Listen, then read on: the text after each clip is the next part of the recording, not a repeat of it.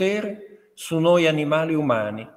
Non è un animale, è una cosa enigmatica, al limite tra una molecola e una cellula, tra la chimica e la biologia, però esercita potere su noi animali umani, costringendoci a cambiare stili di vita, ma così può insegnarci molto sui nostri stili di vita. In prospettiva antropocentrica, Covid è dannoso e letale, ma dal punto di vista della natura e degli altri animali è innocuo, anzi giovevole, perché il virus più devastante, più dannoso per la natura e più crudele con gli altri animali è l'animale dominatore, l'uomo sapiens insipiens, siamo noi. Se io fossi una mucca, un vitello, un maiale, un pollo, un pesce, un cinghiale, un capriolo, un elefante, un ecosistema, farei, credo, un po' di tifo per il virus.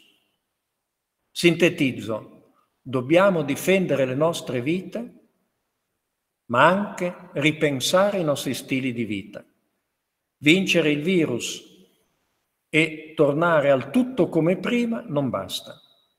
Il poeta Ovidio ha scritto le Metamorfosi Beh, il poeta Covidio ci invita a una profonda metamorfosi etica ed ecologica, da animale di dominio, da animale di antropocene ad animale pleromatico, cioè innamorato della pienezza dell'essere, della pienezza di vita di tutti gli esseri viventi e senzienti. Il libro di cui parliamo oggi affronta a livello universitario la questione animale. Io la ritengo una questione immensa, epocale, che colpisce al cuore i nostri comportamenti individuali e le strutture portanti della nostra economia e della nostra società. Il libro ha una prima parte pregiuridica, cioè etica, e una seconda parte giuridica, io mi limito a estrarre dalla prima parte quattro ragioni che rendono gli altri animali meritevoli di rispetto, forse di amore, da parte dell'animale dominante. Ragioni che generano, possiamo dire, quattro distinti e convergenti animalismi. Il primo animalismo è quello del valore. Gli animali sono meraviglie di bioingegneria, di grazia, di fantasmagorica biodiversità. Possiamo parlare di animalismo ambientalista. Arricchiscono di splendore e interesse il mondo. Il secondo animalismo è quello della soggettività. Gli animali sono esseri senzienti, provano piaceri, dolori, affetti, vivono comprensioni intelligenti, comunicazioni, possiamo parlare di animalismo animalista. Il terzo animalismo possiamo chiamarlo animalismo umanista. È una difesa dell'onore dell'uomo. Il modo in cui tratta gli altri animali disonora l'animale uomo. È un errore razionale e morale. Il quarto e ultimo animalismo possiamo chiamarlo animalismo spirituale. Non conosco una tradizione ascetico-mistica che approvi e promuova la virtù della violenza. Per limitarmi all'orizzonte indiano, yoga, buddismo, jainismo, nessun uso violento degli animali è dharmico, perché il dharma include come elemento essenziale la non violenza, ahimsa, la compassione universale, karuna. L'amore e compassione universale è la mente dell'illuminazione. La violenza sugli esseri senzienti viene ritenuta un ostacolo sulla via verso la liberazione sapienziale, verso la mente dell'illuminazione beatitudine, che non è concepibile come egoica e priva di partecipe empatia. I quattro animalismi convergono nel chiedere al legislatore umano, nelle costituzioni e nelle leggi ordinarie, linee normative sempre più rispettose dei diritti degli animali, degli altri animali e nel chiedere all'università e a tutti gli ordini di scuole insegnamenti sempre più impegnativi di animal law, di diritto animale. Il diritto negli ultimi due decenni ha fatto grandi progressi, ma non è ancora soddisfacente. È affetto da tensioni che quasi lo rendono contraddittorio, gravemente contraddittorio. Lascio la parola, questo prodigio umano, ai sei presentatori, tutti altamente significativi. Non sono sei personaggi in cerca di autore, sono sei personaggi tutti autori. Li ringrazio e rivolgo a loro, a me, a tutti quelli che ci ascoltano, il mantra che costituisce il mio credo. Om Mani Padme Hum. Mi inchino a te, gioiello che risplendi nel fiore del loto. Io lo interpreto così. Mi inchino a te, gioiello della mente spirituale che risplendi nel fiore di loto del corpo cosmico. Tu sei meraviglia, non sprecarla. Possa la tua vita, la tua unica vita, ridurre la crudeltà e accrescere la bellezza della storia dell'essere.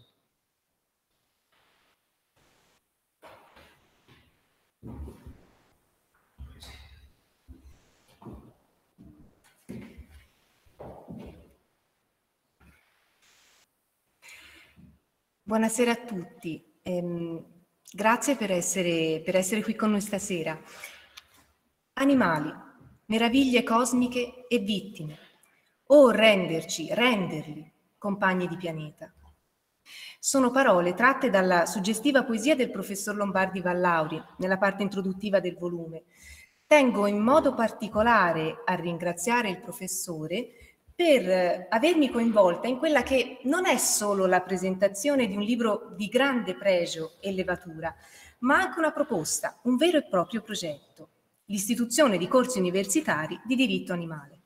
Premetto che non sono una studiosa del settore, non mi occupo di diritto, ma eh, mi interesso da molto tempo alla questione della tutela e del benessere degli animali, che è anche al centro di alcuni miei scritti e componimenti musicali. Ma tornando al volume del professor Vallauri, veramente è un testo illuminante per vari aspetti.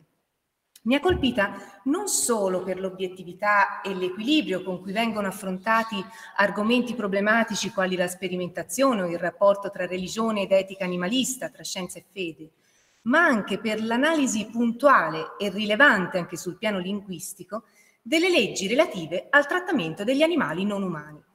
Ne emerge un quadro desolante. Il diritto animale è in sostanza un diritto schizofrenico, pieno di contraddizioni.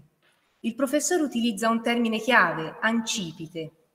È una legislazione che ha una doppia natura, Ovvero, da una parte vengono riconosciute agli animali soggettività, capacità di provare sofferenza, gli animali vengono riconosciuti come portatori di diritti, il diritto al benessere, a una vita degna. All'interno delle stesse leggi individuiamo le parole coscienza, dolore, disagio, spavento, esseri senzienti. Ma, come dire, questo diritto si ferma laddove comincia l'utilità per l'uomo. Proprio questo è un altro termine fondamentale, inutile. Si parla a un certo punto di norme concernenti il trasporto e in generale la gestione degli animali da macello e si afferma che devono essere evitate sofferenze inutili. Ne consegue che quando diventano utili, funzionali alle operazioni di carico, eccetera, sono però ammesse? Lo stesso per i polli d'allevamento, si vietano le mutilazioni, ma poi si concede il taglio del becco per evitare che quelle povere bestie tenute stipate in condizioni miserrime si danneggino a vicenda, compromettendo ovviamente la qualità del prodotto carne. Vediamo in sostanza che la legge riduce i maltrattamenti di fatto a non maltrattamenti giuridici, li permette in quanto utili, funzionali alle attività produttive dell'uomo. Diritto ancipite in questo senso, dunque, è anche profondamente discriminatorio. Si adottano cioè due pesi e due misure per gli animali da compagnia o i selvatici rari, vedi tartarughe delle Galapagos, protetti e tutelati in sommo grado, e gli animali da reddito o i selvatici comuni considerati pericolosi o buoni da mangiare, vedi lupo, cinghiale, i quali possono essere sterminati senza problemi con metodi anche feroci. Non auguro a nessuno di voi di ritrovarsi nel bel mezzo di una battuta di caccia al cinghiale, eh? qualcosa di terribile. Senti le urla dei cacciatori, l'abbaiare dei cani e sai che in tutto questo un animale, magari anche una madre con i suoi cuccioli, sta cercando di scappare dall'inferno. E questo è un triste ricordo legato alla mia esperienza eh, della Maremma, dove vado da circa 30 anni, è un piccolo borgo che a malapena raggiunge le 100 anime. Ecco, quella dicotomia, quel bipensiero, potremmo dire, di cui parlavamo in merito alle questioni di diritto animale, eh, l'ho riscontrato anche negli abitanti di questo paese e delle campagne circostanti in generale. Eh, le persone hanno anche qui un atteggiamento ancipite nei confronti degli animali. Per esempio, i cani da compagnia vengono viziati, sono loro dedicate fin troppe attenzioni. I cani invece impiegati nelle attività venatorie sono tenuti talvolta in condizioni oltremodo lontane da quel che la loro natura richiederebbe, in gabbie isolate, esposte alle intemperie, una semplice scatola di legno dovrebbe ripararli dal torrido caldo estivo o dai rigori invernali, lontani dai loro simili, loro che sono animali fortemente sociali, e, si accetta che vengano feriti durante la battuta di caccia per poi portarli dal veterinario in modo che possano essere ricuciti e tornare così nel più breve tempo possibile produttivi. Quindi vedete, addirittura senza parlare di specie diverse, all'interno della medesima specie, il cane, differenze abissali nel trattamento, nel, nel modo di concepire l'animale. Ora, la persona sensibilizzata su tematiche animaliste, osservando una tale polarizzazione, eh, rimane perplessa. Io ricordi penosi di discussioni tra cacciatori con il loro atteggiamento indifferente, irriverente nei confronti della sofferenza che, che provocano. Ricordo benissimo la mia frustrazione dovuta a due motivi principali. Primo, la consapevolezza dell'impossibilità di far considerare loro altri punti di vista. Secondo, lo stato di conflitto che veniva a crearsi nella mia stessa percezione relativa a queste persone.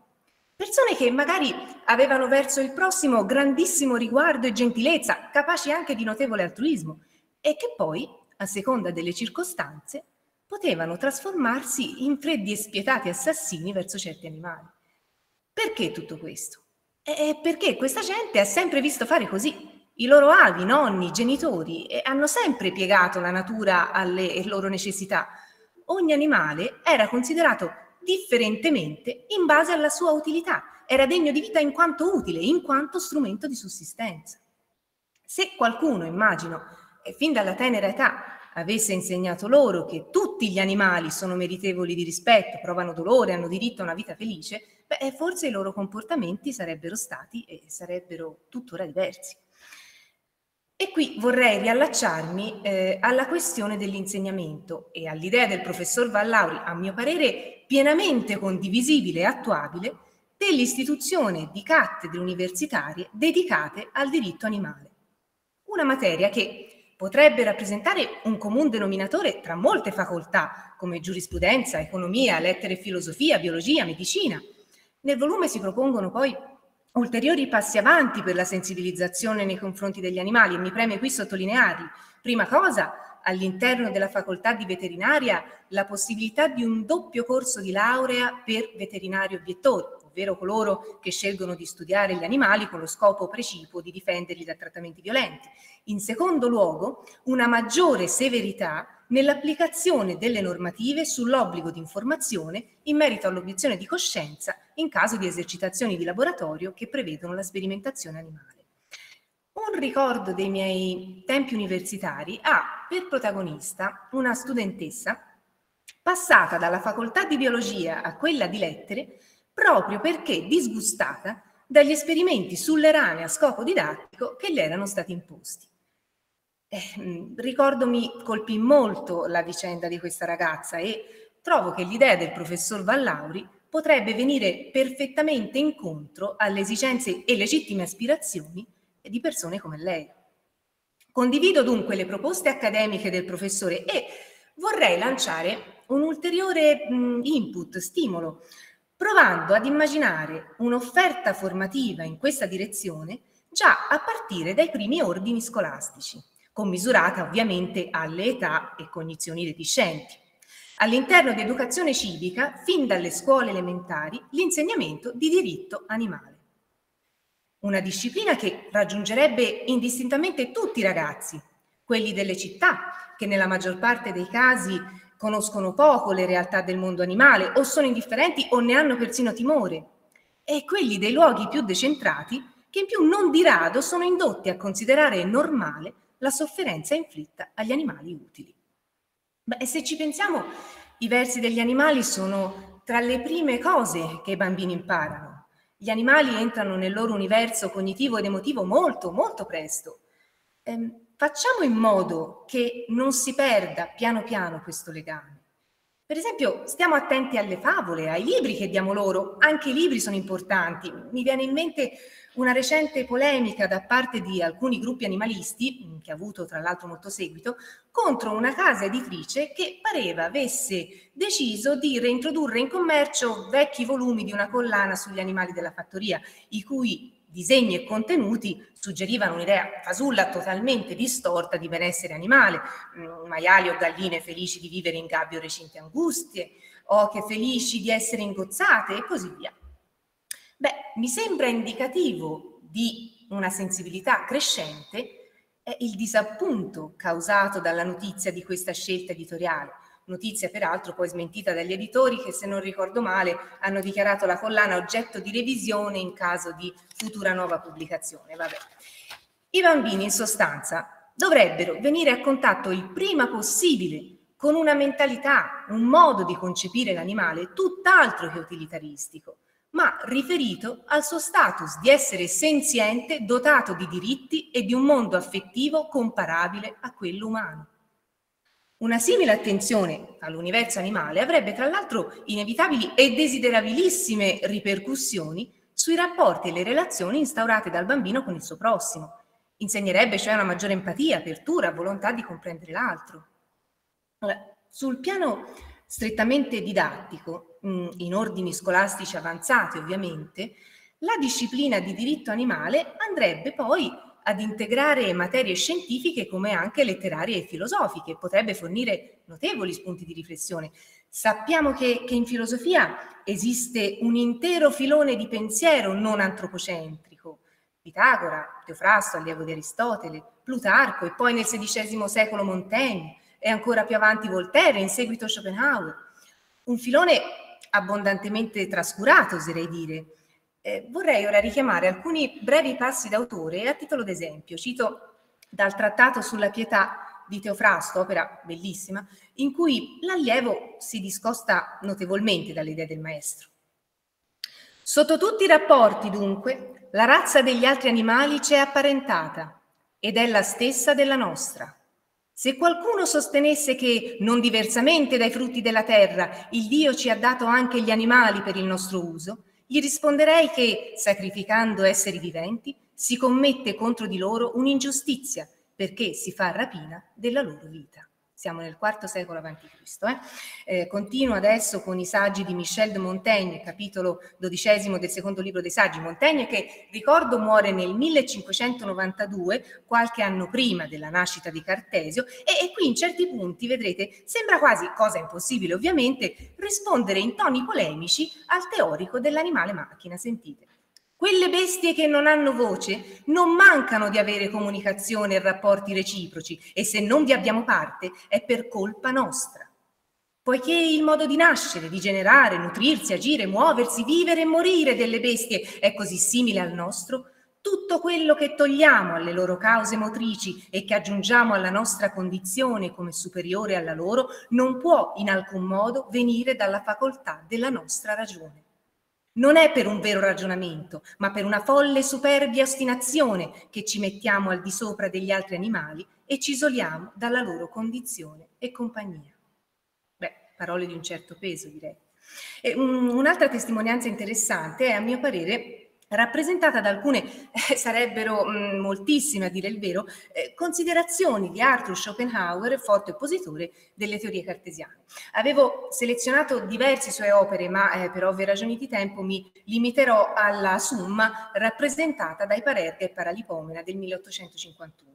Soltanto quando sarà ben penetrata nel popolo quella semplice ed indiscutibile verità che gli animali sono nella sostanza e nell'essenziale ciò che noi siamo, gli animali non saranno più senza diritti ed in balia del malumore e della crudeltà di qualunque rozzo mascalzone e non sarà più lecito a qualsiasi medicastro di sperimentare, infliggendo i più atroci tormenti a innumerevoli animali, ogni strano capriccio della sua ignoranza, come avviene ai nostri giorni.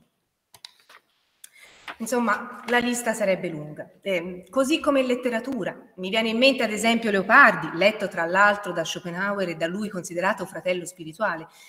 Di Leopardi, al di là del ribaltamento del pensiero antropocentrico presente nelle operette morali, vorrei semplicemente rievocare, ad esempio, la sua dissertazione sopra l'anima delle bestie del 1811. Pensate, aveva solo 13 anni un testo a tutt'oggi poco conosciuto e pressoché assente nei programmi scolastici, testo in cui Leopardi prende anche lui decisamente le distanze dalla concezione di matrice cartesiana. E di recente, poi concludo, mi sono imbattuta infine in un'autrice del XX secolo che onestamente conoscevo poco, Anna Maria Ortese ascrivibile alla corrente del realismo magico alla pari di Massimo Bontempelli, per intenderci. Nella raccolta postuma alle piccole persone sono riuniti diversi suoi scritti collocabili tra gli anni 40 e gli anni 90, spesso destinati a giornali e riviste, in cui la Ortese espone le proprie tesi sull'atteggiamento di superiorità dell'uomo nei confronti degli animali. Tesi decisamente innovative e controcorrente all'epoca e purtroppo spesso inascoltate, come lamentava la scrittrice. E cito da um, un articolo non incluso nella suddetta raccolta, ma pur sempre degno di nota. Scusate, finisco, ma mi sembrano parole intense e profondamente significative. Quando si sente parlare di diritti della vita, sempre il cuore di taluni è in ascolto. Si vorrebbe sentir parlare dei diritti del vitello e l'agnello, ma non ci sono agnelli vitelli e tante altre specie della misteriosa e non delittuosa vita animale non hanno diritto al diritto.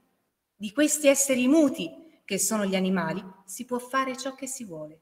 Ogni giorno è prigione, ogni alba è massacro, ogni esecuzione è l'inferno. Ma appunto si potrebbe continuare all'infinito con intellettuali, scrittori talvolta anche abbondantemente studiati, ma di cui viene completamente o quasi taciuto il contributo letterario e artistico a favore e in difesa degli animali. Sta a noi, come dire, decidere di ridar loro voce, ricordare questi autori e rendere i nostri figli consapevoli della loro esistenza, dell'esistenza di un interesse nei confronti degli animali non umani che ha attraversato tutti i secoli e di cui si fa però pochissimo menzione nelle scuole.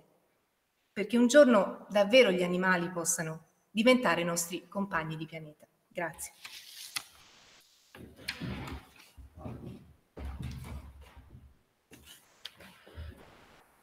Ringrazio profondamente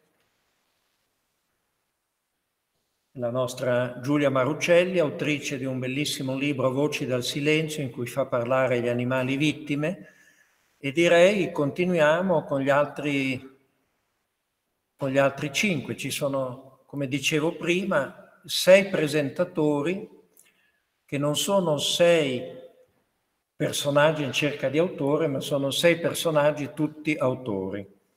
In ordine alfabetico abbiamo Carla Campanaro, che è eh, avvocato, niente meno che responsabile giuridico della LAV e insegna diritto animale a Oxford.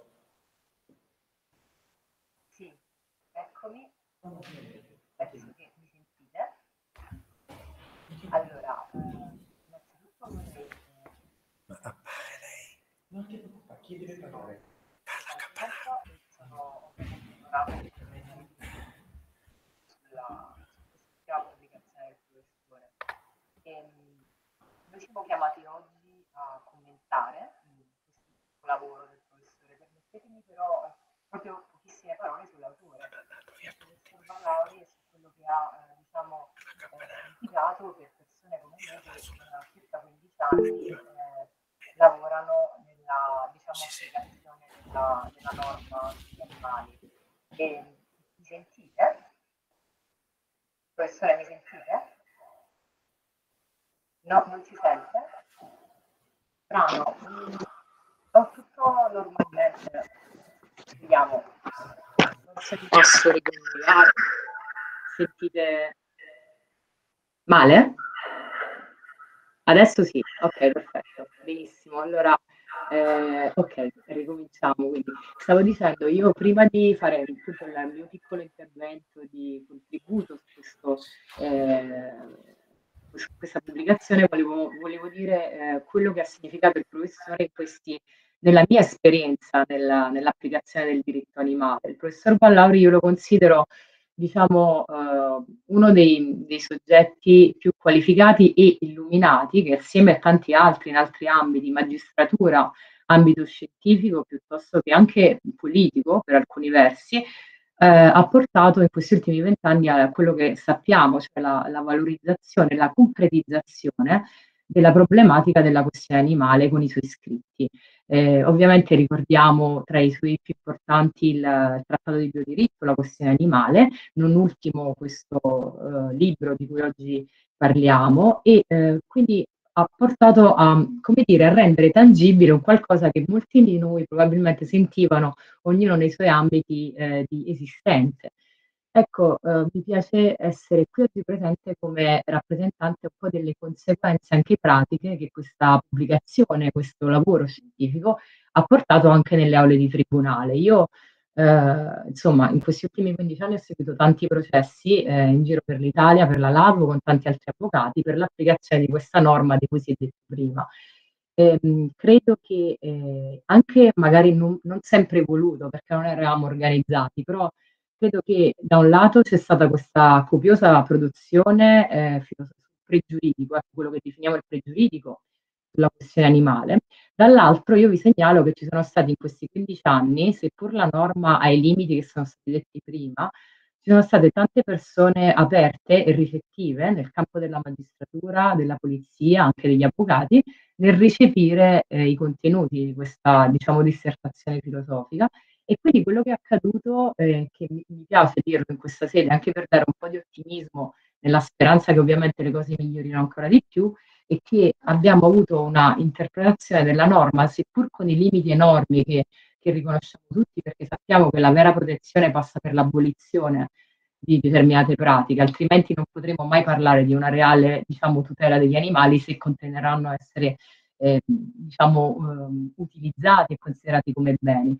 Però ecco, quello che è accaduto e di cui io sono testimone per i processi che ho seguito è che eh, unendo il pregiuridico al giuridico ehm, si sono eh, avuti delle, diciamo, appunto un'interpretazione ampia della norma e non letterale, ecco, passatemi il termine. Ricordo che il professor Pallauri, appena la norma sugli animali sul codice penale nel 2004 fu ehm, approvata e anche in seguito, ha sempre appunto diviso gli animali in due categorie, gli animali signorini gli animali eletti, i cani e i gatti, e poi tutti gli altri animali. Questo è una cosa oggettiva perché tutti gli altri animali sono oggetto di ehm, praticamente pratiche commerciali che ne autorizzano la morte.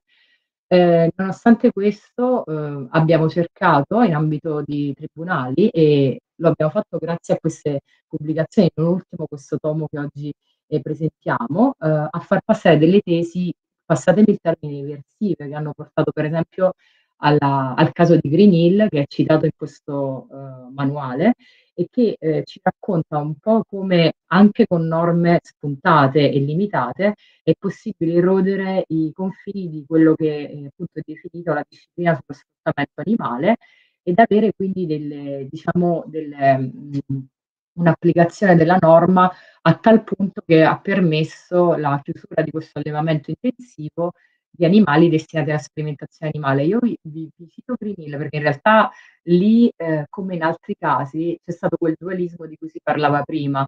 Partiamo sempre da animali oggetto, quindi animali che devono essere usati per la, per la diciamo, uh, utilità umana, in questo caso la sperimentazione animale, con un'applicazione illuminata di, delle norme sulla protezione degli animali, anche sostenendo tesi eh, non solo giuridiche ma anche filosofiche, siamo riusciti a far passare quantomeno il concetto che un animale, seppur oggetto, dovesse avere una serie di diritti nella, suo, nella sua vita prima di essere destinato, come sappiamo, tristemente alla morte per la sperimentazione animale e questo ha portato alla fine a un accertamento di responsabilità penali per, per gli autori della diciamo, gestione di questa struttura.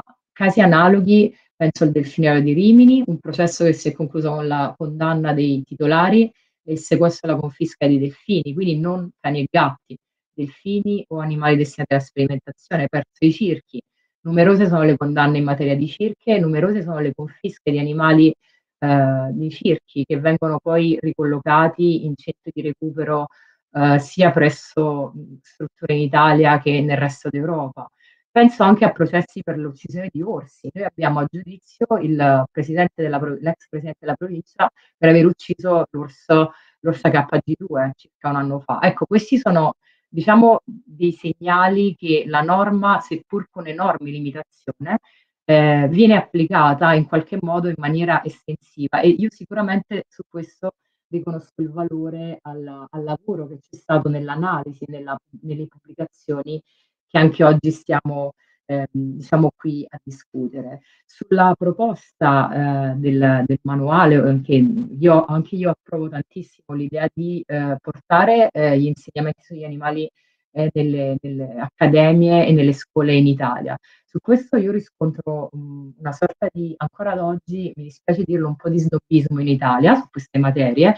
Eh, noto che la magistratura è molto più avanti nell'applicare le norme e, e anche portando avanti tesi ardite grazie al lavoro degli avvocati e delle forze di polizia, mentre invece in ambito accademico c'è ancora un po' di, come dire, refrattarietà a voler valorizzare quelle che sono ormai un, copioso diciamo, eh, materiale normativo, ma anche giurisprudenziale che andrebbe valorizzato. Succede un po' quello che accadeva nel diritto ambientale tanti anni fa.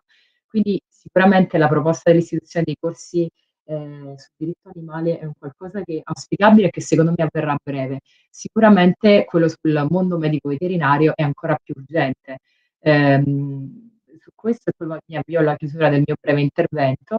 Su questo io penso che sia necessaria una vera e propria rivoluzione di, della formazione. Il professore propone un corso solo per i veterinari in qualche modo obiettori. Io eh, mi accontenterei in questa fase di un corso, ma anche soltanto di un insegnamento, appunto, nell'ambito della facoltà di veterinaria che aiuti i veterinari, anche coloro appunto non obiettori, a conoscere eh, le norme eh, di protezione degli animali e anche le, le, le, diciamo, le disposizioni filosofiche del pregiuridico in materia, proprio perché ad oggi abbiamo una situazione paradossale per cui chi studia veterinaria studia probabilmente tanti aspetti che riguardano l'utilizzo degli animali nei vari ambiti, ma è totalmente eh, inconsapevole del quadro normativo di riferimento. Quindi anche questo sarebbe sicuramente, se posso lanciarlo come proposta, qualcosa che sicuramente sarebbe eh, cruciale per, per la, migliorare la protezione degli animali.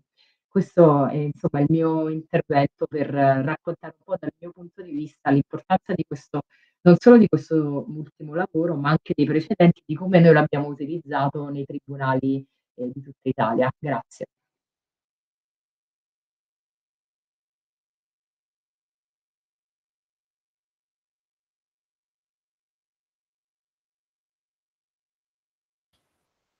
Ecco Che succede?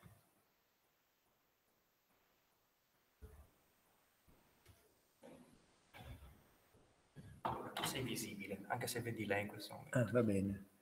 Ecco. Ah, ecco. Beh, ringrazio moltissimo Carla e mi emoziona anche il pensiero che, che lei rappresenta al tempo stesso Napoli e Oxford e quello che ha fatto per Green Hill e in genere per eh, la parte proprio giuridica della lava è grandissimo e adesso dovrebbe intervenire Dora Grieco che è fondatrice e presidente dell'associazione Vivere Vegan che anni fa ha organizzato delle cose notevolissime, dieci giorni a Firenze e adesso mette grandi manifesti in tutta Italia. Eh, ascoltiamo Dora Grieco un altro dei sei personaggi, tutti autori. Sì, eh, buonasera a tutti eh, i presenti. Eh, spero mi sentite bene, non so.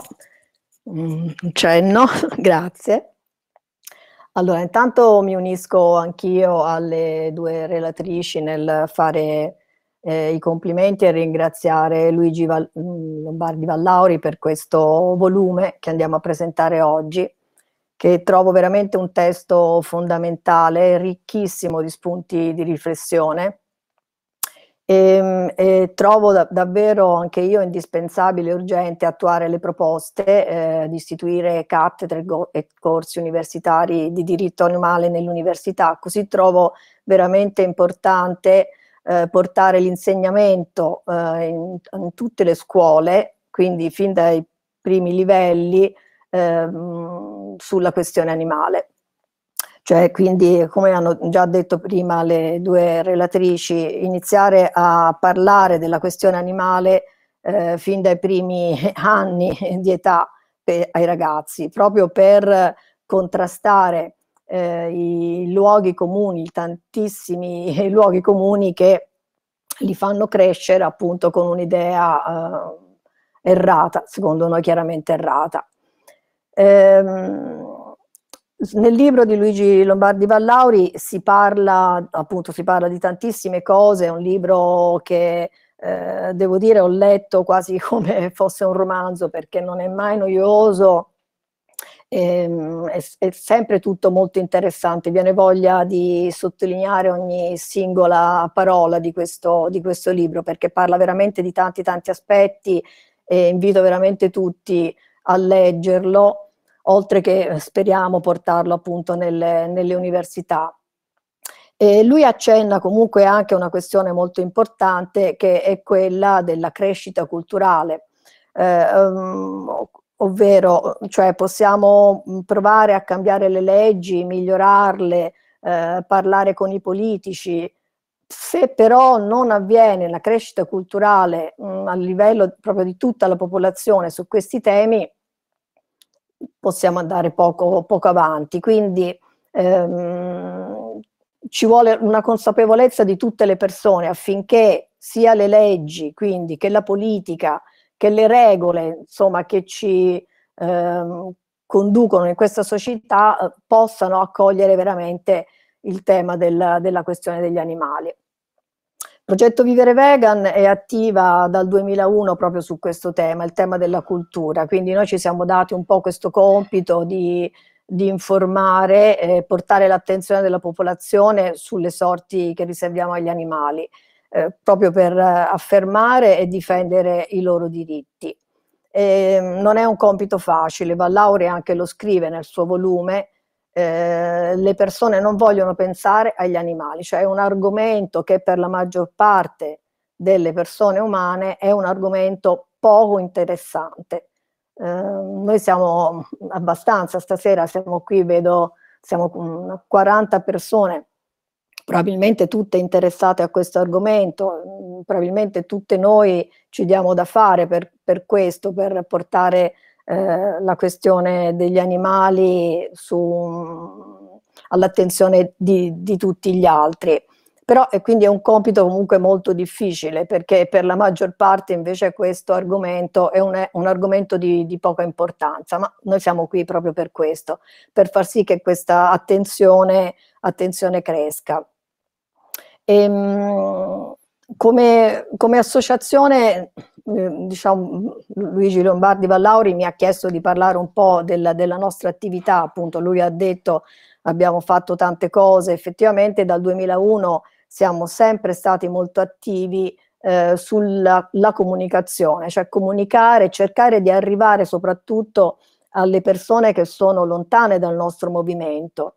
Lo abbiamo fatto mh, per cercare di affer affermare eh, la normalità dell'essere vegan, vorrei dire io, perché poi alla fine essere vegan è molto normale, cioè io lo sono da 27 anni circa, quindi per me chiaramente è normale essere vegan, ma è anche molto semplice e, mm, e, e mi resta anche difficile a volte comprendere come mai ecco, le, le persone non lo sono. Ecco, e, e forse più per me è più difficile capire come mai le persone non sono tutte vegane, tanto è facile, ehm, quanto appunto come fare per raggiungerle. Comunque, il nostro, il nostro operato, diciamo, dal, dal 2001, siamo mm, molto attivi eh, chiaramente online, ora, ora, più che mai, grazie ai social, riusciamo a far arrivare il nostro pensiero eh, a tantissime, tantissime persone. Abbiamo realizzato mostre, convegni, festival, anche uno spettacolo teatrale organizziamo cene che coinvolgono chef di, di livello anche importante, e, mh, ovvero sono tutte pratiche che vogliono far vedere, ripeto, questa normalità dell'essere vegan. Essere vegan non è speciale, è semplicemente, come chiaramente eh, tutti voi già sapete, voler vivere eh, senza sfruttare e uccidere nessuno. E si può fare, si può fare benissimo. Ehm, il problema appunto è far arrivare questo alle altre persone. Allora, quest'anno, anzi dall'anno scorso, abbiamo iniziato ad affiggere grandi manifesti, parliamo di manifesti 6 metri per 3, sui muri di tantissime città italiane, proprio per arrivare alle persone che non sono già della nostra idea, perché il nostro compito non è tanto quello di parlarci addosso, ma far arrivare il nostro messaggio a chi è lontano. E quindi abbiamo pensato di utilizzare eh, quelli che sono poi gli strumenti della comunicazione, del marketing che tutti usano, che usano le aziende eh, che sfruttano e uccidono gli animali, eh, tra l'altro con, con, delle enormi falsità, ehm, e quindi eh, abbiamo appunto scelto di, eh, di, utilizzare appunto la strada de della pubblicità, fra virgolette, oppure contro l'informazione o pubblicità progresso, chiamiamola come, come vogliamo. Mm, vi faccio vedere anche mo molto velocemente alcune delle nostre campagne, forse alcuni di voi già, già le conoscono, non so se qui si, si vedono, comunque ecco questi sono eh, alcuni dei manifesti, non so se si, si, si riescono riesco a inquadrarli.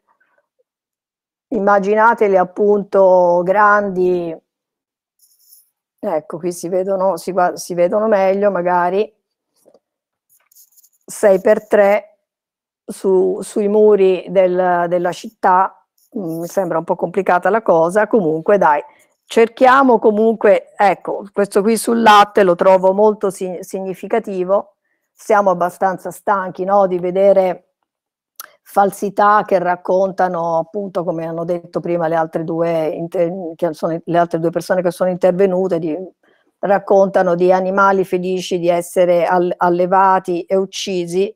Eh, questo è un manifesto che racconta in breve vuole portare l'attenzione su quello che è lo sfruttamento eh, degli animali per la produzione di uova, uova, latte. Ancora oggi molte persone non sanno che per produrre uova e per produrre latte gli animali vengono uccisi, cioè siamo veramente eh, indietro, indietro, indietro nel, nel riuscire ad arrivare ad informare le persone perché non vogliono ascoltare. Ecco, questo è un po' il problema, il punto sul quale magari tutti noi dovremmo forse impegnarci sempre di più, cioè come fare a, non, a rendere, a eliminare la banalità dell'argomento degli animali, perché per questo pensano che sia le persone, che, che, la maggior parte delle persone pensano che parlare di animali sia,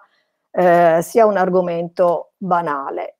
Ehm, quindi questo perché chiaramente? Perché sono condizionate dal, dal pensare comune, eh, che perché la, la, tradizione è sinonimo di giusto. Eh, insomma, il nostro compito è, è sfatare i luoghi, i luoghi comuni, ma è anche quello in qualche modo di dare comunque delle risposte, perché chiaramente evidenziare i problemi senza dare un aiuto, dare le risposte serve serve a poco, quindi come associazione con, abbiamo un sito ricco di informazioni, siamo a disposizione di chiunque, chiunque ci contatti per uh, avere delle, delle dritte no, sul come fare a iniziare una vita uh, senza lo sfruttamento eh, di altri esseri senzienti. E, mh, tra l'altro sul nostro sito da poco abbiamo messo anche online un, una sezione eh, dedicata proprio a chi vuole intraprendere un'alimentazione 100% vegetale, ehm, Vegan Starter Menu, questo è il nome che gli abbiamo dato, cioè un modo per dire se volete partire eh, anche dalla tavola, perché poi alla fine gli animali che vengono uccisi per la nostra alimentazione sono la, la stragrande maggioranza, sono un numero indicibile di esseri senzienti che viene ucciso per questo. Però poco importa, poco importa alle persone, basta accendere la televisione oppure appunto guardare la pubblicità, sentire i discorsi che fanno le persone, vedere i ristoranti quando sono aperti chiaramente, che, che, che ci sono nelle città, eh, cos'è che viene proposto? Vengono sempre proposti gli animali fatti a pezzi, questo è un po', è un po il discorso. E, ehm, invece, appunto, ritorno al discorso di prima e qui comunque concludo.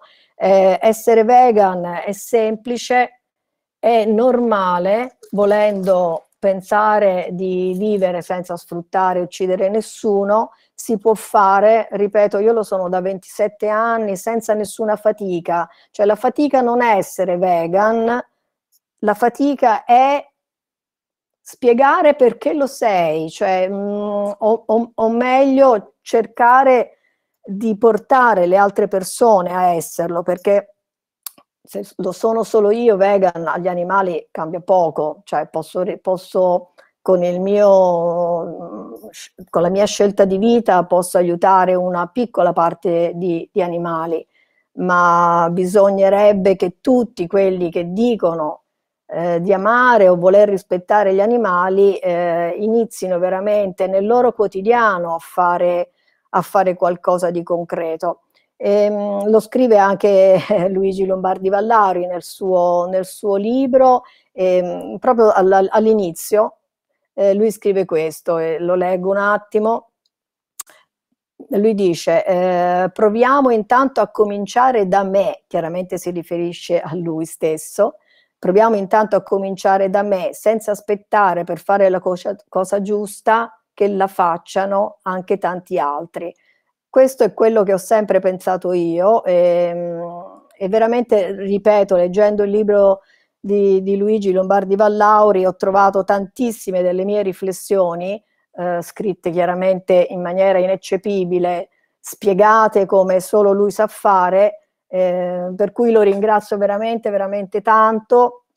E, ehm, e niente, un invito a tutti, quello di consultare il nostro sito viverevegan.org e di sostenerci, sostenerci nel, nel nostro lavoro, anche l'affissione dei, dei, manifesti vuol dire un costo, eh, ogni manifesto in ogni città eh, o, o, più manifesti diciamo nella stessa città, comunque però per raggiungere ogni città ci occorrono circa 500 euro, quindi eh, noi abbiamo affisso circa 300 manifesti in quest'anno, parlo di grandi manifesti, quindi una spesa molto importante, però pensiamo che vada fatto, vada fatto perché dobbiamo raggiungere le persone, ripeto, lontane dal, dal nostro pensiero, cioè dove, dobbiamo in qualche modo arrivare a chi è lontano, a chi è lontano da noi. Grazie.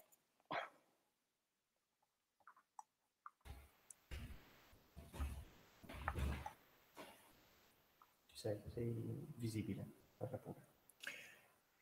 Grazie Dora, io sono convinto che quello che fate accresce la bellezza e la mitezza della storia, della terribile storia dell'essere. Io sto finendo un libro sulla crudeltà e sono rimasto stupefatto della crudeltà dell'uomo. Ho scoperto che la crudeltà legale è quasi sempre molto peggiore della crudeltà criminale e nella crudeltà rientrano certamente anche i comportamenti nei confronti degli animali. Adesso, continuando in ordine alfabetico, dovrebbe intervenire Lorenzo Guadagnucci, giornalista, autore di libri molto notevoli e mh, fondatore e promotore della radio Restiamo Animali, che è forse la radio animalista più impegnata d'Italia, a cui ho molto contribuito. Sono molto contento di sentirlo. Grazie, buonasera a tutti, spero che mi sentiate. Eh, grazie per l'invito, grazie ovviamente a, Luigi per eh, questo suo contributo ennesimo, che per noi è come al solito una lezione. Con Luigi ci siamo incontrati qualche anno fa, eh, in coincidenza grosso modo con eh, l'inizio eh, della nostra trasmissione, che va avanti, se non erro, dal 2012, quindi otto anni, eh, siamo andati in onda con oltre 500 puntate.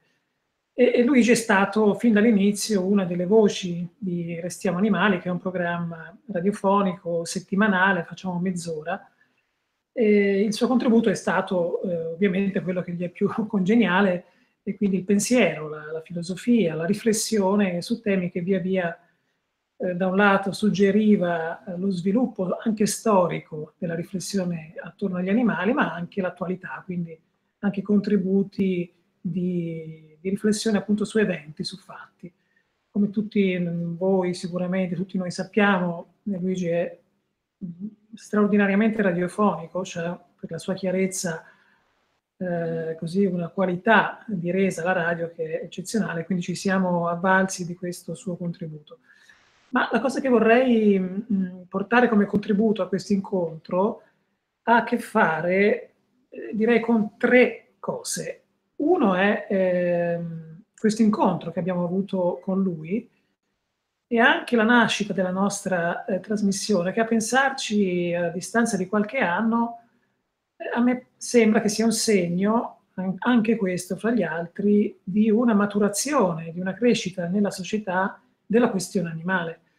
Eh, ce lo dice un po' il percorso che abbiamo fatto. Noi siamo un gruppo di attivisti ma anche giornalisti. La nostra è una trasmissione che ha un, eh, se qualcuno l'ha ascoltato, un carattere prettamente giornalistico. Ci occupiamo di attualità, diamo notizie che riguardano gli animali via via che succedono settimana dopo settimana. A questo aggiungiamo poi appunto la riflessione, l'approfondimento, anche aspetti più specifici come ad esempio la cucina. Quindi abbiamo una rubrica di cucina per offrire occasioni, come diceva prima Dora, di eh, sperimentare anche questo mostro che sembra essere la cucina eh, a base vegetale chiunque l'abbia sperimentata scopre che è un mondo eh, straordinariamente vario.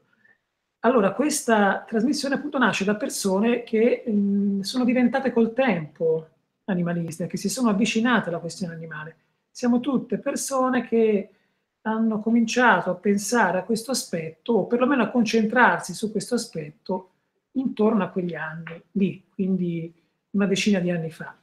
E siamo persone che arrivano da esperienze di attivismo in campo sociale, politico, politico in senso lato, non, non partitico, non istituzionale, ma di impegno nella società verso forme di giustizia, di cambiamento, di eh, trasformazione di una società che a noi non soddisfa, non ci piace e crediamo che sia dominata da, eh, appunto dall'ingiustizia e dalla diseguaglianza. In questo percorso abbiamo incontrato la questione animale, abbiamo scoperto tantissime assonanze fra eh, i temi che ci stavano a cuore, è stata quasi come un'illuminazione, eh, e parlo per me, perché per me la questione animale in realtà è più antica, la mia scelta verso un'alimentazione vegetale eh, risale molto tempo fa, eh, e però non avevo mai eh, fatto quel salto, o perlomeno messo a fuoco questo aspetto, questa mia attenzione agli animali, alla, loro sorte, il mio rifiuto di contribuire a, a distruggere le loro vite come una questione politica importante. Quindi ci è voluto del tempo, anche per i motivi, a mio avviso, che diceva Dora, cioè che viviamo comunque in una società che ci spinge in una certa direzione e, e quindi la sottovalutazione della questione animale fa parte della nostra cultura, una cultura antropocentrica, come, come poi insomma, sappiamo e abbiamo imparato a capire meglio. E però evidentemente questo tema, anche per chi viene da esperienze di attivismo, di riflessione sulla giustizia, che, di ambientalismo ad esempio, eh, pur avendo tutti gli strumenti per mettere a fuoco questa questione, lungamente non siamo riusciti a farlo. Poi qualcosa è sbocciato. Io credo che intorno a quegli anni molte cose siano cambiate. Oggi la questione animale è sicuramente più viva di quanto non fosse 20 o 30 anni fa e, e la riflessione di Luigi, questo stesso libro lo dimostra, no? con lo sviluppo che c'è stato a livello, ad esempio, giuridico delle normative riguardanti gli animali. Ecco, credo che questo incontro anche con lui abbia avuto questo segno, questo senso e abbia lasciato questo segno.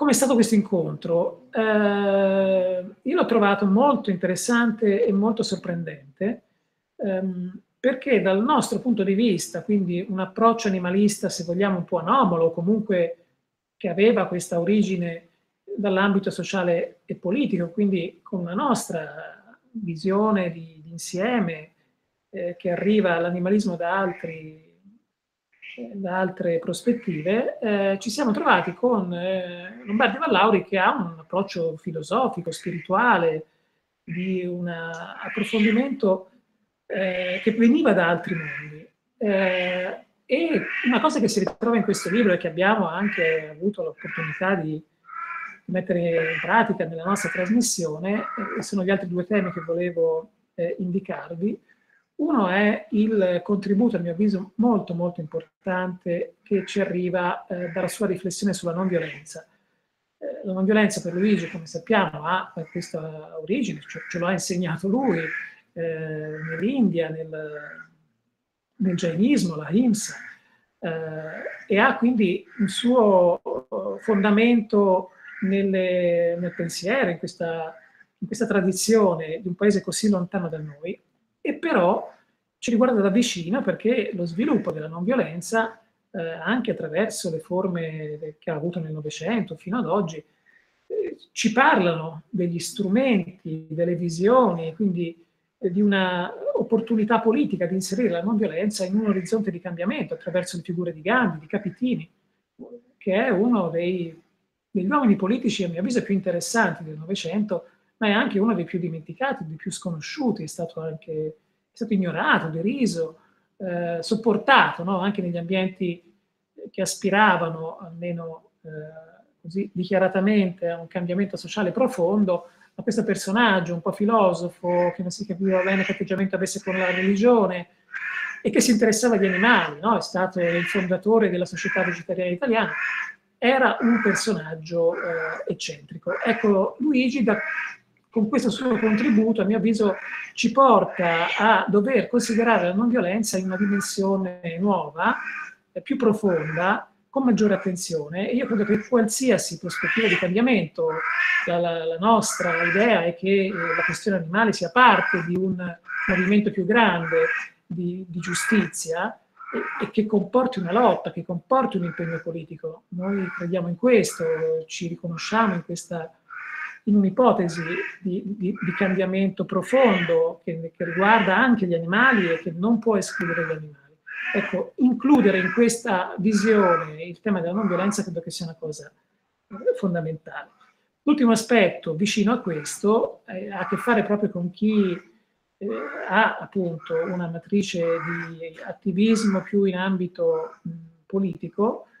Eh, l'incontro con Luigi implica eh, anche un'attenzione maggiore di quella che tradizionalmente è concessa in certi ambienti alla questione spirituale, eh, che è una questione fondamentale, eh, molto molto snobbata in ambienti di impegno politico, viene considerata quasi un lusso, quasi un'ingenuità alle volte.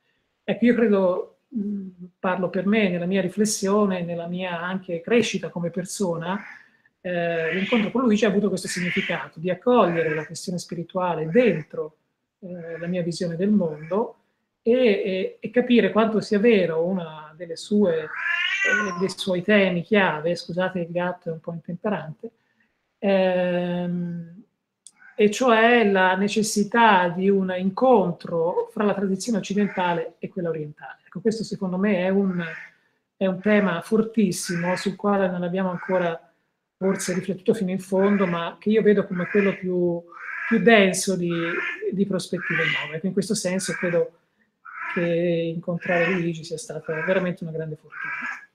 Grazie.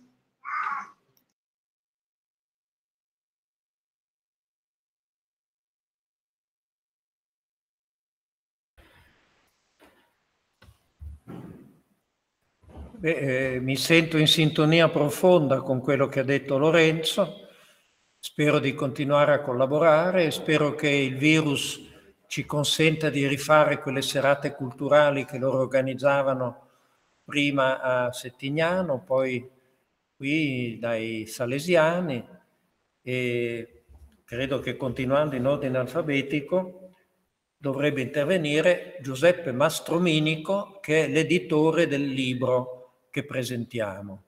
Se non c'era lui con il suo gruppo di Gesualdo, io che sono solo capace di fare cose belle e tra le cose belle non c'è il promuovermi, non credo che avrei fatto il libro. Ho dei ricordi meravigliosi di quel posto a Gesualdo dove correggevamo le bozze e loro hanno anche il grande merito di avere pubblicato i madrigali del grandissimo musicista Gesualdo e, e, quindi la mia gratitudine è grandissima. Se il libro è una cosa buona, loro certamente l'hanno fatta.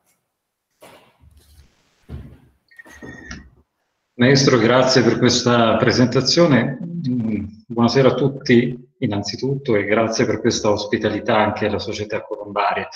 Sono veramente felice e e onorato. Beh, mm, io ho seguito con interesse tutti gli interventi, mi fa piacere conoscere Lorenzo Guadagnucci, seguirò un po' la sua linea.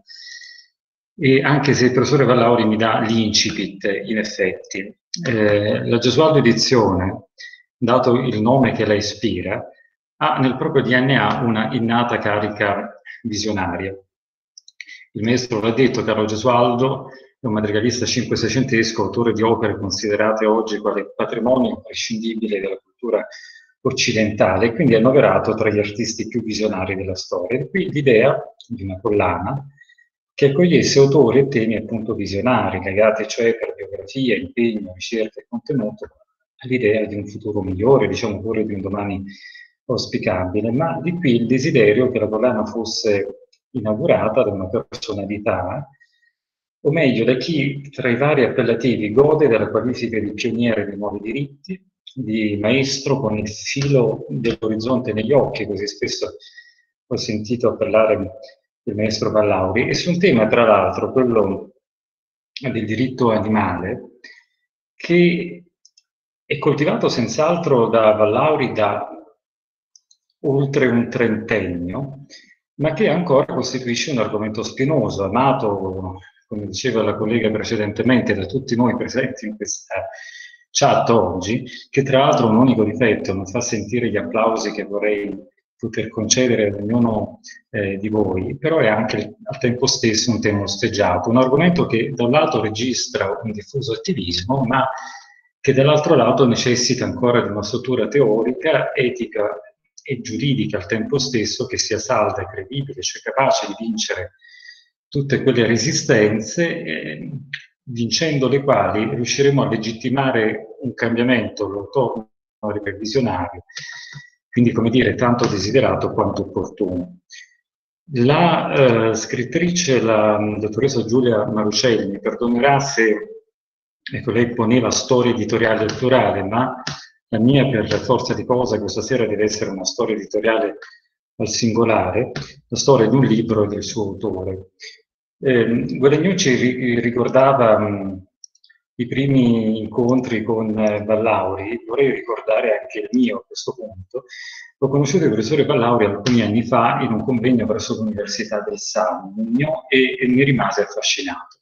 Fu annunciato lì durante quel convegno la pubblicazione, si disse, del primo manuale di diritto animale, il riferimento era al voluminoso tomo il professore ha curato nel celebre trattato di più diritto diretto da Stefano Rodotà, che è stato citato in origine. Compresi lì, però, devo dire, il valore profondo di quelle formule che spesso gli specialisti, mi inserisco anch'io tra questi, occupandomi poi di storia del diritto sul piano accademico, di una formula ripetuta forse con troppa disattenzione e superficialità, immeritevoli di tutela, che oggi è anche un titolo fortunato, ma per fortuna è anche l'emblema di un pensiero. Insomma, in quell'occasione il Vallauri pensatore, che per chi come me ha coltivato, come dire, i terreni della giurisprudenza, è conosciuto e studiato nella sua opera giusta filosofica, è apprezzato quale punto privilegiato di osservazione, come maestro inevitabile che accada allora, quando si tratti di personalità come lei, che hanno la forza di muoversi sui crinali, crinali che al tempo stesso separano e uniscono più cose, però in quel convegno Ballauri diviene qualcosa in più. Se mi si passa la battuta, direi che diventa l'oggetto del desiderio, l'oggetto del desiderio che una persona è prestata a diventare anche editore, con il sogno di pubblicare libri destinati a lasciare un segno. Io, indipendentemente dal fatto che mi sia l'editore, ma sono intimamente convinto che Scritti Animali è uno di questi libri che lascerà il segno. E questo perché il libro che appunto oggi presentiamo, raccogliendo scritti riordinati sotto lo sguardo vigile e attento dell'autore, fa sì, vorrei poter dire, che per la prima volta si sia data sistemazione ad un pensiero militante, come pochi ne, ne è dato incontrare nella sua autorevolezza. Questo libro, diceva il maestro, è stato composto tra Firenze e Gesualdo. Gesualdo, il nome Gesualdo ha una duplice valenza, il nome dell'autore materialista, visionario dell'antichità, ma è anche il nome di una ridente cittadina nella Verde Irpinia. Io ho preteso che il maestro ci venisse a fare visita più volte, toccando con mano lo spirito, lui sì che può permettersi, come dire, una simile trascendenza, con cui abbiamo intrapreso la nostra avventura editoriale. E devo dire che con lui vicino tutto diventa più chiaro, amabile, perché no sorridente. D'altra parte l'umorismo e gli aforismi di Vallauri riempiono le giornate di sacrosante verità.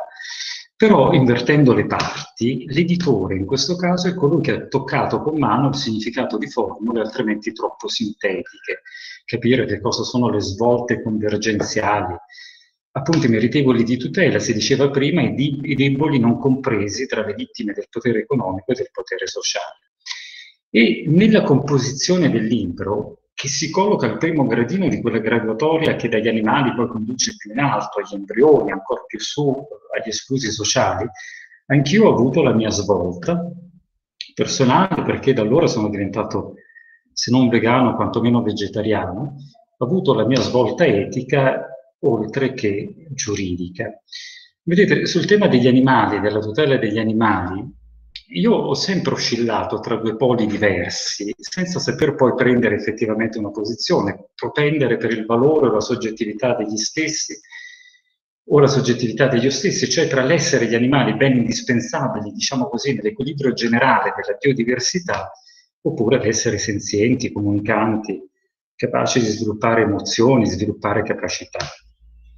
La svolta, per essere chiari, è, è consistita nella scoperta dell'umanesimo, dell'uomo, lo diceva Valauri proprio in principio di presentazione, dell'uomo che tra gli obblighi principali annovera la difesa della nobiltà connessa alla sua natura, del proprio onore e della propria dignità il che vuol dire garantire quel meraviglioso passaggio che va dall'articolo 3 della Costituzione e conduce direttamente all'orizzonte più ampio, diceva Guadagnucci, della non violenza, ma la non violenza intesa appunto come visione del mondo, ecco che torniamo al tema visionario, una visione idonea a orientare il cammino dell'umanità, mi pare dica così Vallardo, il che risolve, neanche a dirlo, gran parte delle preoccupazioni giuridiche, perché tradurre l'etica sul piano giuridico non è mica una cosa tanto semplice, ma anche qui l'autore lancia un messaggio di speranza. Il diritto, sostiene Vallauri nel testo, è una grossa macchina coercitiva, lavora per tipi astratti, deve ricorrere a trucchi tecnici che rendano quel diritto praticabile. Fin qui nulla questo, mi sento di ripetere la cosa che si insegna agli studenti del primo anno, giurisprudenza, tuttavia avverte il maestro, il diritto democratico non può imporre che visioni largamente condivise nel corpo sociale e negli organi rappresentativi. E qui la svolta, se manca un'ampia condivisione sociale o culturale, anche il diritto democraticamente prodotto c'è del passo. Esso sarà formalmente valido, ma privo di effettività sarà anche un diritto di per sé monco. Allora di qui la sfida delle sfide pensare un diritto che sia all'altezza della riflessione etica. Una sfida che con questo libro, Scritti Animali, abbiamo voluto affrontare in pieno, andando contro le abitudini mentali radicate di cui si diceva negli interventi precedenti, piegandone però per quanto più sia possibile la resistenza. Si è citato il sottotitolo del libro per l'istituzione dei corsi universitari di diritto animale.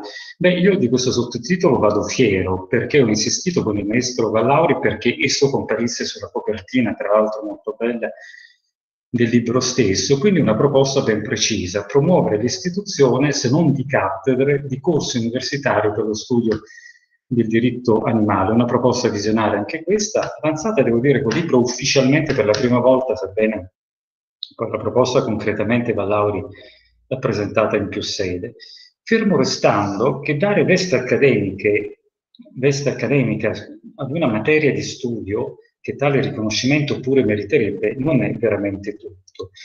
E, e qui mi ricollego a Giulia Marucelli, eh, tra l'altro, il miglior contributo, vorrei poter dire, dottoressa, che l'editoria di buona volontà può dare alla causa, che anche questo pomeriggio viene celebrata in una sede autorevole, è intervenire sul tessuto sociale, sulle dinamiche del consenso, connettere tra loro le discipline scientifiche che aiutano la riflessione etica e quella giuridica, saldandole però nel rapporto delle stesse con la società.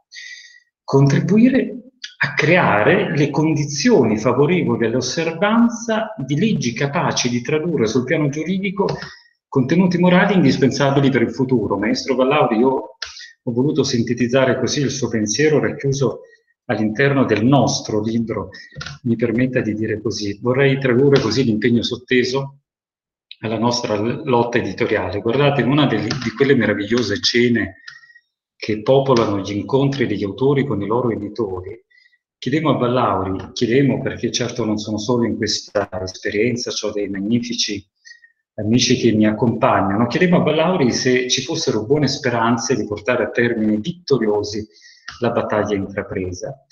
Eh, l'importante, l'importante eh, è che l'azione sia giusta, non che sia vincente, non il professore.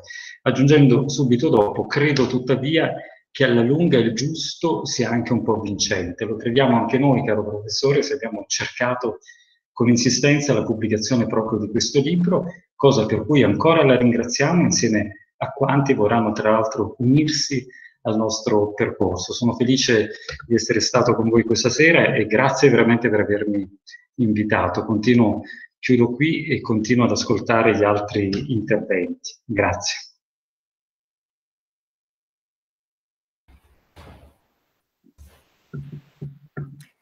Beh, naturalmente ti sono gratissimo e in grande sintonia, ho trovato magistrale la tua sintesi sul mio libro.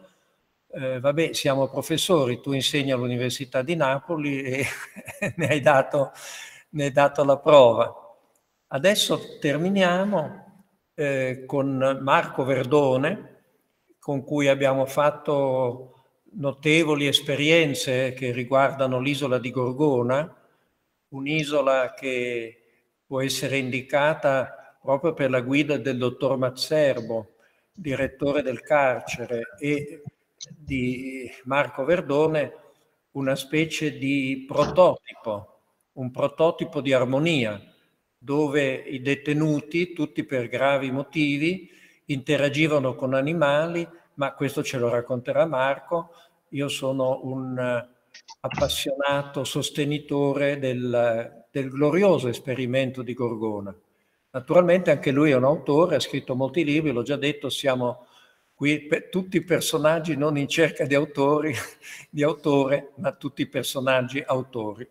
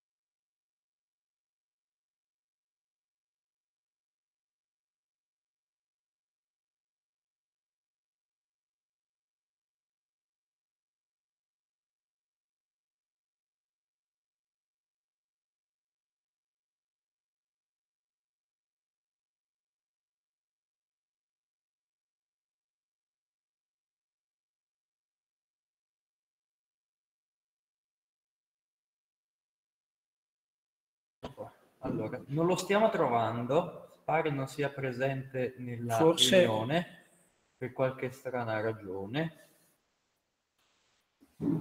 Eh, se non c'è Marco Verdone, La noi... comunità Onda Amica, voilà. Scusate, io non Ah, ecco, comunità Onda Amica. Marco il microfono silenziato. Ecco qua. Mi sentite? Ora Ah, sì. sì Marco, non ti sentivamo prima, adesso ti sentiamo. Quindi ricomincio da capo? Sì. Ok. Grazie. Allora, intanto dicevo che salutavo gli amici e le amiche che vedo in video con i quali abbiamo condiviso molte cose su questo tema e, mm, e cercherò di essere anch'io sintetico eh, eh, toccando alcuni punti. eh, perché ovviamente la materia è molto vasta e appunto mi unisco al ringraziamento verso Luigi perché è stato uno delle persone eh, che l'ha trattata in modo rigoroso, sistematico e come diceva anche Lorenzo, molto, sempre molto lucido. E, e questo è una, una sua, un suo pregio, una sua caratteristica fondamentale per arrivare a quello che Dora diceva, che è il nucleo del nostro impegno, uno dei nuclei del nostro impegno, cioè quello della comunicazione. Eh, la materia è vasta, è complessa e spinosa, tanto che dicevo ha richiesto l'elaborazione in, nel- in un intero volume del trattato di biodiritto che è stato poc'anzi citato. Ovviamente voglio ringraziare anche la casa editrice e sono molto felice che venga da una zona come l'Irpinia perché è una zona di gente tosta Ehm, e quindi eh, questa- questo slancio da quelle zone mh, anche difficili, però di persone eh, semplici, ostinate e, e, mh, e forti, eh, forse non è un caso per questa, per questa tematica che richiede, richiede la virtù della, della costanza, della, della resistenza e anche della, del- dell'avere una strada chiara, dritta, mh, perché le forze cosiddette nemiche della vita, per usare un termine a me caro, che è un termine prettamente omeopatico, le inimical force to life, sono eh, continuamente a sollecitarci. Ehm, rispetto al testo che ovviamente eh, scritti animali sul quale non, non entro più di tanto perché è talmente vasto e, e poliedrico eccetera volevo solamente ricordare che, mh, che eh, oltre alle fini disquisizioni di diritto ed etiche eh, mi piace molto che è una caratteristica di Luigi l'uso creativo, spregiudicato delle parole e dei concetti. Ricordo uno tra i tantissimi, il servizio carnefice obbligatorio, che eh, sarebbe un'attività, eh, diciamo, ipotetica, ovviamente eh, irrealizzabile, ma fondamentale per capire cosa accade ad un animale quando sta per perdere la vita e, eh, e forse questa cosa dovrebbe essere eh, interiorizzata da tutte le persone che si nutrono di altri esseri eh, viventi. Eh, prima di arrivare a raccontare due cose sul mio impegno personale e professionale, volevo ehm, fare un passo indietro e eh, arrivare un attimo ad, ad un- paio di punti riguardante la mia professione veterinaria. Io sono un medico veterinario che ha avuto la fortuna, diciamo due fortune nel suo cammino professionale. Una di incontrare l'isola di Gorgona, il carcere, con il quale mi sono confrontato circa 30 anni per arrivare al risultato che poi vi dirò, e, e secondo, per fortuna subito, quasi vicino alla prima conoscenza, quello della medicina omeopatica, che mi ha consentito di ribaltare totalmente il mio concetto di salute, di malattia, di essere malato e di essere curato e, e di rivedere tutti i rapporti di cura e di potere all'interno del, del mondo vivente, che mi ha consentito anche di avere strumenti fondamentali per sopravvivere in Gorgona e per mantenere vivo quel sogno che feci circa 30 anni fa che Gorgona poteva diventare un luogo eh, di assoluta non violenza nei riguardi degli altri esseri animali non umani. Allora, eh, a tale riguardo voglio eh, solamente eh, citarvi un passaggio del nostro giuramento professionale, cioè il giuramento professionale dei medici veterinari, che eh, dice che entrando a far parte della professione e consapevole dell'importanza dell'atto che compio, prometto solennemente di dedicare le mie competenze e le mie capacità, attenzione, alla protezione della salute dell'uomo, virgola, alla cura e al benessere degli animali, favorendone il rispetto in quanto esseri senzienti. Quindi al primo posto non c'è l'animale non umano, ma c'è l'uomo, l'umano. E infine, in fondo, aggiunge di svolgere la mia attività in piena libertà e indipendenza di giudizio, cosa che noi spesso veterinari dimentichiamo, e di eh, agire secondo scienza e coscienza con dignità e decoro conformemente ai principi etici e deontologici proprio della medicina veterinaria.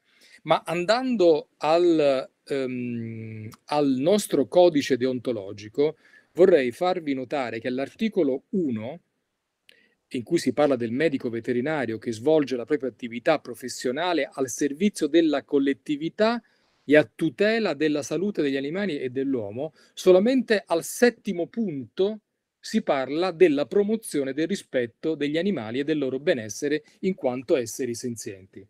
Insomma, questo eh, fa capire abbastanza chiaramente come al centro di tutte le attività che dovrebbero essere a tutela degli animali non umani, comunque fondamentalmente c'è l'essere umano e tutto quello che ruota, soprattutto l'aspetto zootecnico, quindi tutta la tecnica e l'economia applicata allo sfruttamento degli animali che in modo molto arrogante antropocentrico chiamiamo animali da reddito.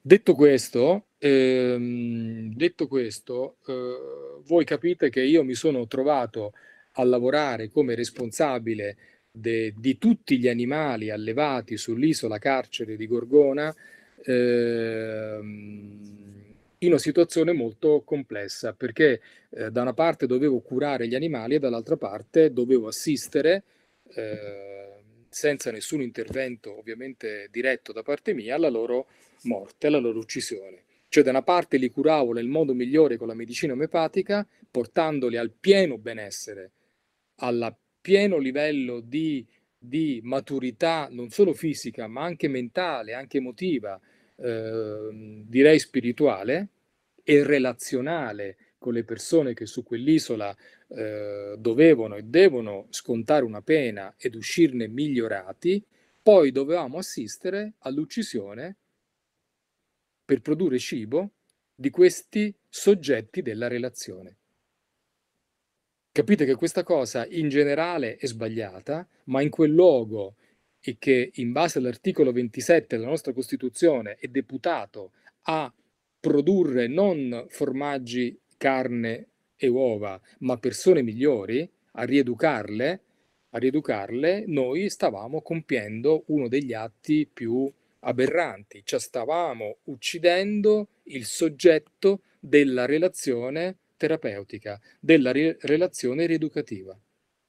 Eh, quindi eh, è un atto completamente sbagliato e, ehm, e, io mi sono sforzato in questi anni di far capire quanto fosse sbagliato e anche di dimostrare nella pratica come l'etica poteva essere tradotta in atti concreti, riuscendo negli ultimi anni a eh, aprire una piccola finestra su questo sogno e a eh, realizzare eh, quell'esperienza di rottura del cammino di sfruttamento e di uccisione, salvando eh, tutti gli animali sull'isola grazie al, all'intervento del direttore illuminato Carlo Mazzerbo che poc'anzi ha nominato Luigi Lombardi Vallauri.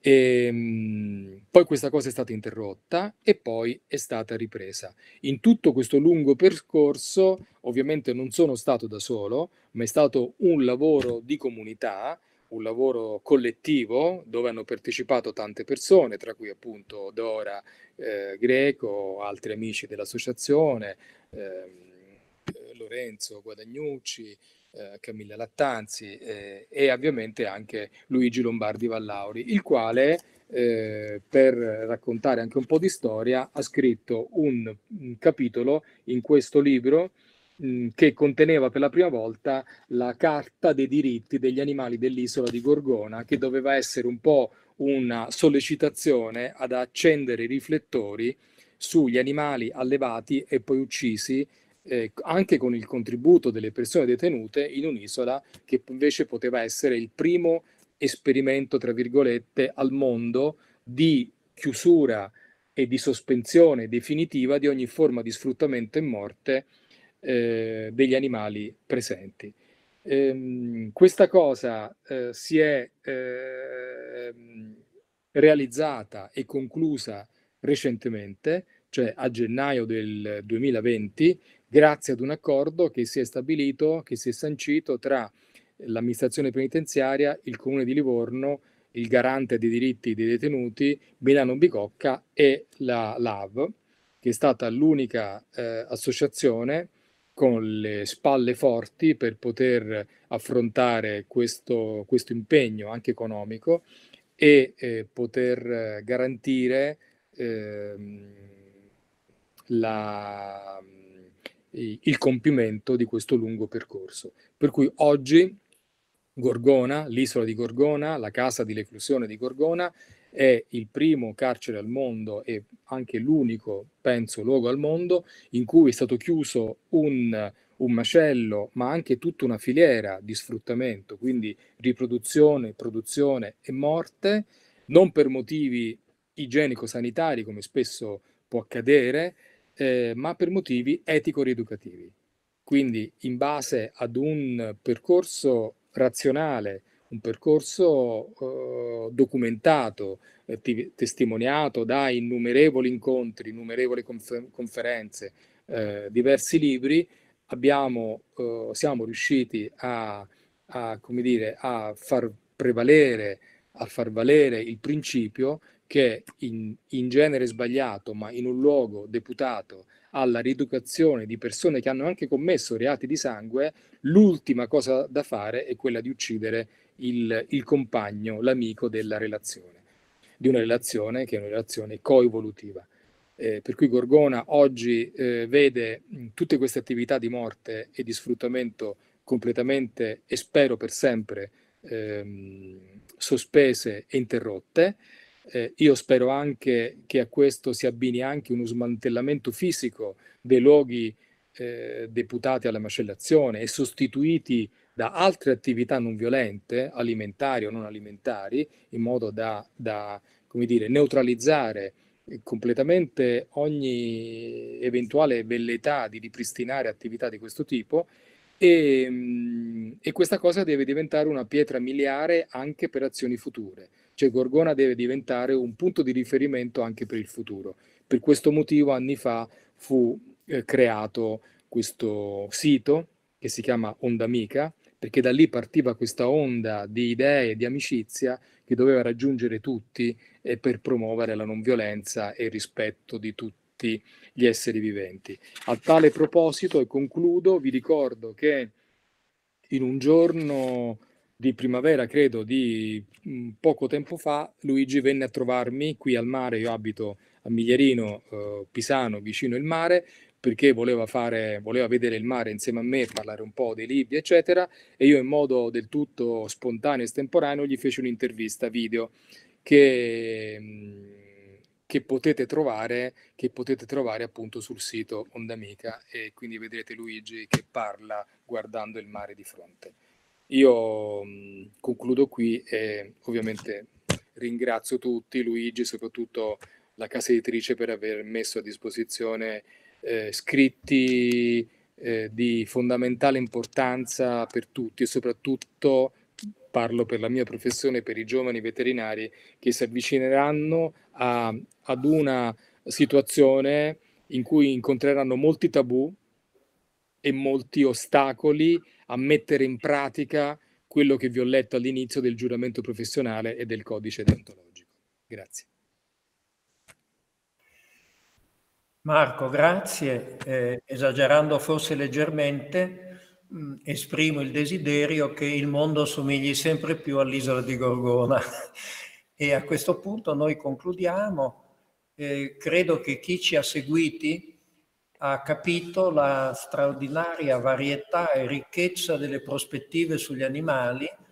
Eh, oggi c'erano i sei personaggi, tutti autori, ce ne sono tanti altri, quindi non è niente di unilaterale, non è niente che sia solo su un livello di militanza, diciamo, irrazionale. Eh, credo che sia, come dicevo, una questione epocale e eh, concludo ripetendo eh, mio mantra, che rivolgo a tutti i presenti, agli ascoltatori, possa la vostra vita, possa la nostra vita accrescere la bellezza della storia dell'essere, ridurre la terribile crudeltà della storia dell'essere. Chiudiamo qui quindi? E allora diciamo si conclude con qualcosa di... Basta. Ok, perfetto.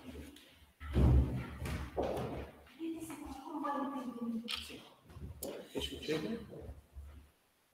Ci chiedevamo, qualcuno è interessato a, a porre delle domande, a intervenire in qualche modo in modo tale che i relatori possano rispondere? Manifestate sì, questo desiderio ora, così...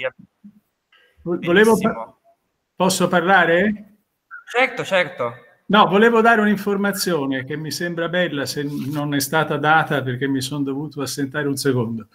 Eh, L'Università di Milano di Bicocca da, da, questo novembre al febbraio del 21 in persona della professoressa Diana Cerini eh, con la quale ho parlato ha istituito un corso su diritto e benessere degli animali per l'approfondimento, l'aggiornamento e l'acquisizione di competenze specialistiche eh, sul diritto degli animali eccetera eccetera. Mi sembrava una buona notizia, dico a Luigi che saluto eh, che, non, che, non, so se la Diana eh, ti ha chiamato perché l'ho, l'ho, informata del tuo libro e lo, le ho proposto di eh, eventualmente darti uno spazio per un inquadramento filosofico. Ecco, volevo dare questa notizia e ringrazio comunque tutti. Beh, eh, grazie Carlo. Abbiamo in comune tante di quelle storie, a cominciare dal Nepal di più di 30 anni fa nel nostro pellegrinaggio in Himalaya, ma io ho proposto il corso di diritto animale a cinque università e tutti hanno detto sì, sì, bisogna proprio farlo. Questo è stato il contributo. Invece adesso apprendo che Milano Bicocca eh, sta partendo, sono molto grato a Diana Cerini e le auguro pieno successo, ma un po' come è stato per il diritto ambientale tanti anni fa, sembrava una cosa strana e adesso viene insegnato in tutte le università, fin dal livello del diritto costituzionale, ma giù giù anche a livello delle leggi ordinarie. Oggi c'è una contraddizione grave eh, tra i principi generali animalisti e le leggi speciali che rendono l'eccezione cento volte più eh, grave della regola. Speriamo che il diritto cambi e, e continuo a ripetere che eh, stasera speriamo di avere accresciuto un po' la bellezza e diminuito un po' la eh, crudeltà della storia dell'essere. Non so se ci sono altri che vogliono intervenire. Buonasera, sono Alberta Manni, posso intervenire? Certamente, lo faccia pure, se vuole anche essere visibile Attivi il video. Eh, purtroppo ho provato a mettere il video, ma il mio computer è veramente scratch. Ecco qua. No, poi era qualcun altro. Va benissimo, non importa. Se vuole fare una domanda... È svanita. È svanita e non... Invece io ci tengo. Vabbè, eh, mi portava anche a me, ma non riesco a... Devo andare via? No, no, no, rimani pure. Eh, però chi aveva posto la domanda non è più visibile per qualche ragione. Beh, in attesa che si risolva questo problema tecnico, qualcun altro ha desiderio di porre qualche domanda? Sì, eh, sono Sergio Giovannini. Benissimo. Posso parlare? Certo, certo. Bene. Intanto saluto il professore che ho avuto l'onore di conoscere con Marco Verdone quando andammo a Bologna insieme e passammo una bellissima giornata. E ascoltarlo è sempre estremamente emozionante e stimolante. Io da parte mia, come il professore, non so se si ricorderà, ma Marco sa benissimo, mi occupo di ambiente e mi riallaccio un attimo a questa ultima citazione di quando il professore diceva che proponendo il diritto ambientale sembrava di proporre chissà cosa e lontano da poter essere un domani sensibilizzato all'interno delle università. Io purtroppo sono, per questo sono un pochino pessimista perché vedendo quello che purtroppo succede all'ambiente e di cui non riesco a dare una spiegazione logica in tanti comportamenti autolesionisti, capisco quanto sia poi difficile portare su un livello di ragionamento chi dovrebbe abbracciare e sposare la questione animale e quindi sposare quello che il vegan può rappresentare per il futuro dell'umanità. Comunque, eh, mai demordere. Marco Verdone ci ha insegnato che alla lunga poi batti e ribatti si piega anche il ferro e noi andiamo avanti e io vi ringrazio tutti per tutto quello che fate. Grazie. Anch'io ho un bellissimo ricordo di quella giornata e ringrazio e faccio eh, quello che bisogna dire è che il pessimismo eh, non ci deve influenzare, cioè come diceva Aldo Capitini, il convinto eh, non vuole essere necessariamente vincente. Eh, il, il, sono io il luogo su cui posso scommettere con successo e non devo fare le cose solo se prevedo che siano vincenti, anche perché se poi sono sicuramente vincenti, forse il mio contributo è superfluo. Quindi io un, uno dei miei tanti aforismi è che solo l'utopico è utile. Mi piace che le due parole cominciano con uti, sono un innamorato delle parole e credo che sia vero che l'utopico è la cosa più utile perché è quella che fa la storia. E se mi aggiungo al vincente, chi lo sa, forse sono superfluo.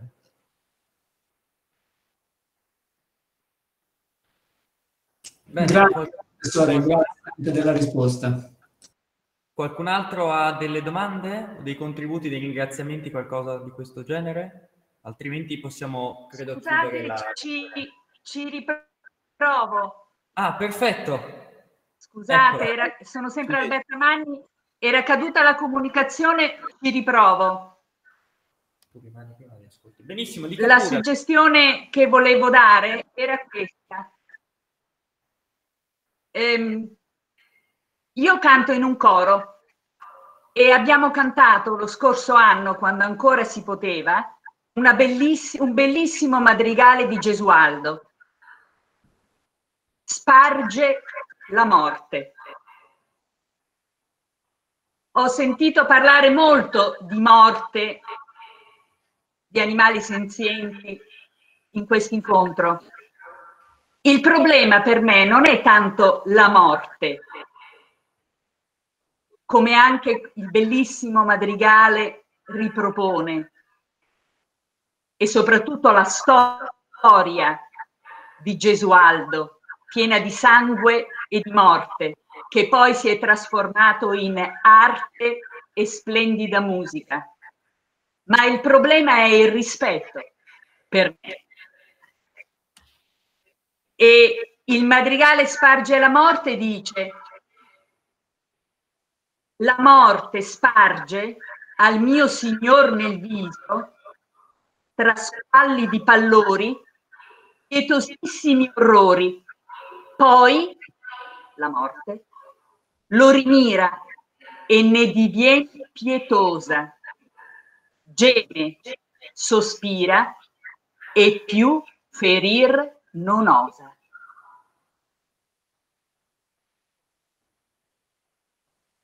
Il rispetto, cioè il guardare di nuovo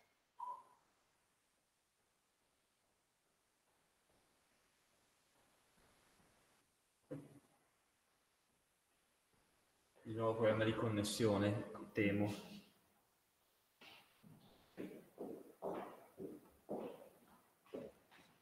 Trovato il testo nel carro, ma purtroppo temo sia stato nuovamente presente un problema di connessione e diciamo che a meno che non si riconnetta nei prossimi istanti, si può chiudere la... Posso intervenire? Sì, certo. allora, eh, ringrazio per il madrigale e rinnovo eh, l'espressione della mia gioia di avere pubblicato proprio con l'editrice Gesualdo, perché mi vanto di pubblicare con editori non commerciali e ho aperto la collana Visionari con questo libro, ma sono venuto subito dopo l'edizione critica delle opere di Gesualdo, un volume monumentale, prezioso, su un autore eh, prezioso. Eh, quando sono stato a Gesualdo era fantastico perché il teatro era il teatro Gesualdo, il bar era il bar Gesualdo, il castello era il castello del principe Gesualdo, l'editore si chiamava Gesualdo, è un posto tutto Gesualdo. Eh, quindi, visto che il libro è di Gesualdo, io termino così, ringrazio ancora di quello che fate, ringrazio eh, tutti quelli che sono intervenuti e, e spero che da qui, come eh, da una pietra gettata in uno stagno, eh, partano onde eh, di eh, miglioramento della storia. Sì, vorrei fare una proposta vorrei fare una proposta eh, concreta di riaprire tutti i microfoni per un istante e fare un applauso collettivo a tutte le persone, organizzazioni, associazioni che operano costantemente per costruire una società migliore, una società finalmente desiderabile. Quindi se siete d'accordo, eh, state, aprite tutti i microfoni e si fa un applauso collettivo.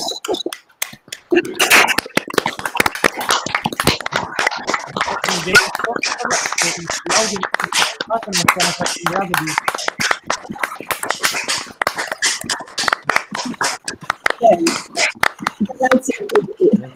a tutti. Grazie. Ci sono applausi e direi che quindi se vuoi salutare abbiamo, concludiamo. Abbiamo... abbiamo... abbondantemente salutato, ma diamo un saluto ufficiale a questo punto. Vabbè, allora un saluto cosiddetto ufficiale e un abbraccio a tutti, ripetendo un'ennesima volta l'augurio che sappiamo vivere all'altezza delle meraviglie che siamo eh, e certamente la, la compassione, l'amore, l'interesse per gli animali non può che migliorare anche noi.